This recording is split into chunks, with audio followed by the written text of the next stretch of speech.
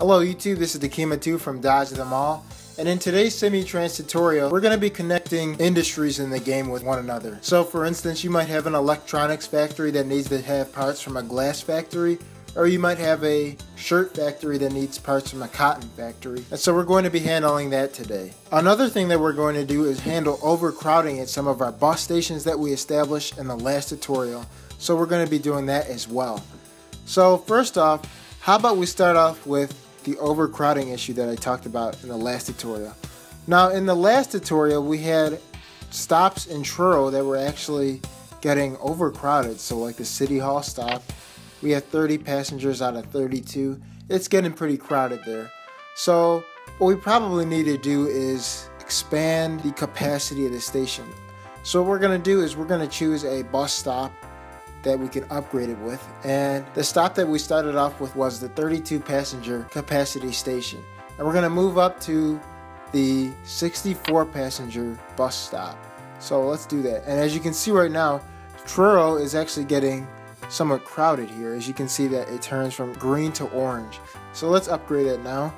You just click on the station and there you go. And we're gonna do this with all the stations now because I assume that they're gonna be crowded here. There, there, there, and there.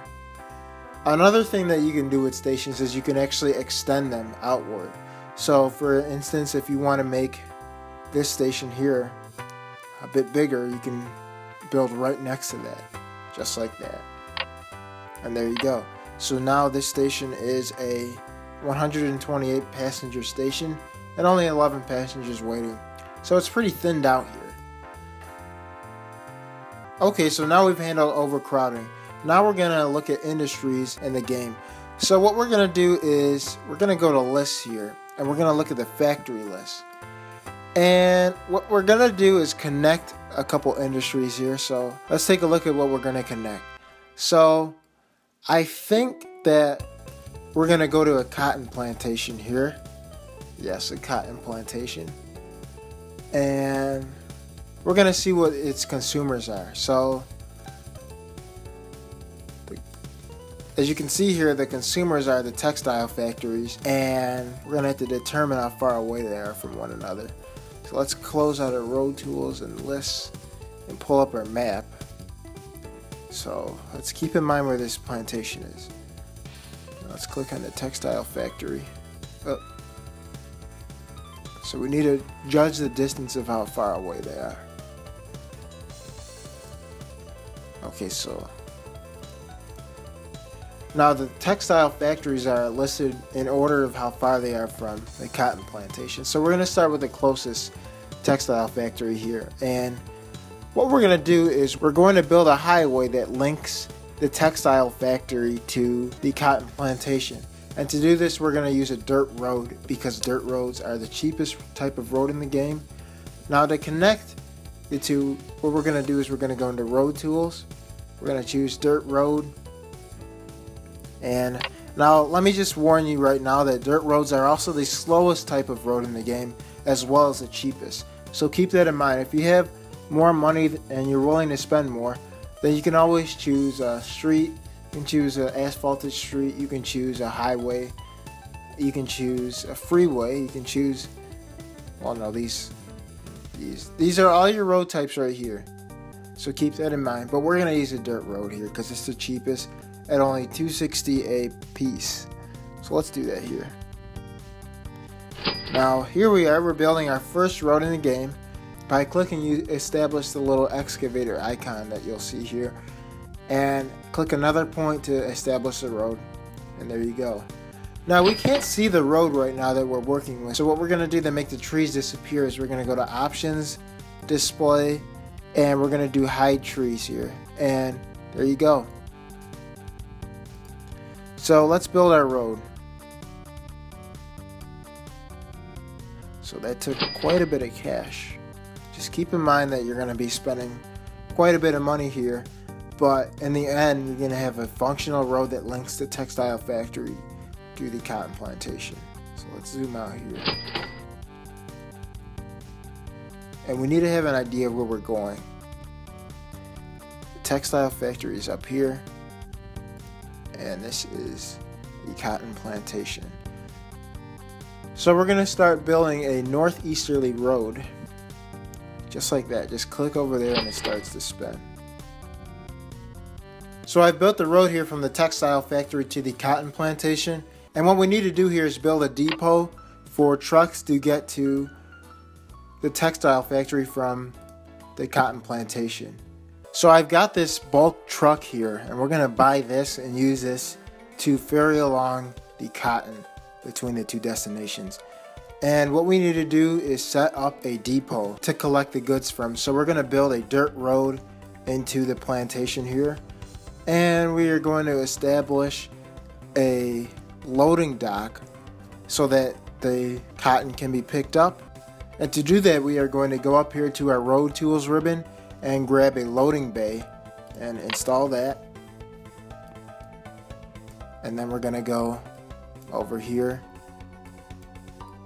to the textiles factory, which is right here, and install a loading bay. Actually, one thing to note that this is not in the range of the cotton plantation, so we're going to need to delete the stop here, and we're going to have to build a road going into it from over here.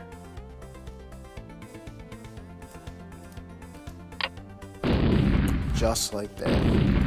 We're to extend this. And there we go. So now what we do is we're going to go into the garage here and we're going to create a new schedule for this truck that links it to the cotton plantation and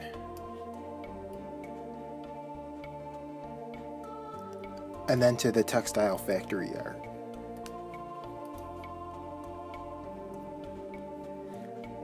What we're going to do now is make sure that the minimum load from the cotton plantation yard is 50% of material. And at the textile factory yard, it's going to be 50% of material as well. We're going to promote the truck to the line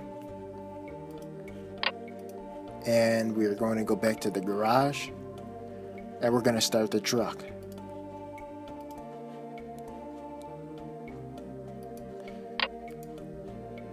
If we fast forward here,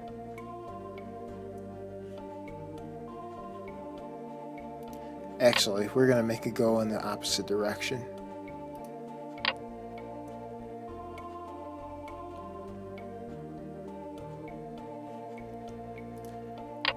So I made a bit of a mistake here. What I did was I actually bought the wrong kind of truck. As you can see here, the cotton plantation only takes deliverables, so you need to make sure that you have the right the truck type, which is deliverables, which would be these trucks here. And so that's what we're to buy here. We're to buy truck that takes deliverables, and that would be this one. And we're to use the same line we just used, which was line 6 and we're going to start the truck on that line. As you can see here, cotton is being produced and you can see here we're already getting crowded so we need to build more space here. Actually we're going to make this go to the cotton plantation.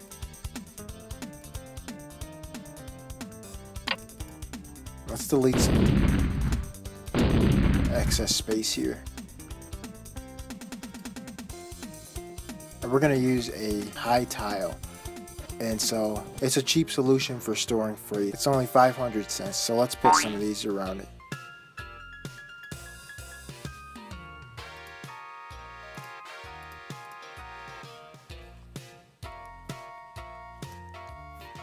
So that's it for this tutorial. We've connected up our factories and we've dealt with the station overcrowding that was really starting to take a toll on the effectiveness of our bus service. In my next Simutrans tutorial, we're going to look into railroads and terraforming to see how you can get the most out of your map. Thanks for watching. Please be sure to subscribe to this channel and the main Dodge of Them All channel for awesome gameplays by Alec and Steven. Like us on Facebook, like us on Twitter, if you like this video, give it a thumbs up. If you don't like it, give it a thumbs down.